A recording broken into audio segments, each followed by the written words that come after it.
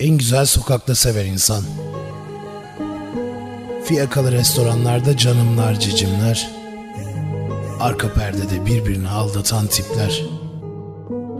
Yüksek binalardan hayatı izleyenler sevdayı da film zannederler. Bilmezler aşkı izleyen değil sevdalanan yaşar. Lüks bir restoranda rezervasyon bekleyenler sokak lambası altındaki sevdayı dinlerler.